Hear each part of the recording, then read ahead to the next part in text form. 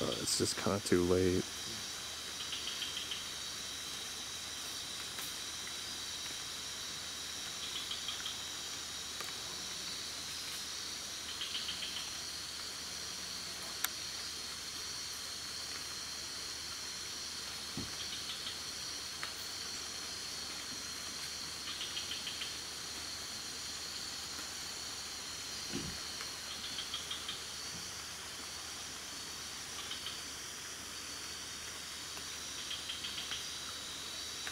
to work.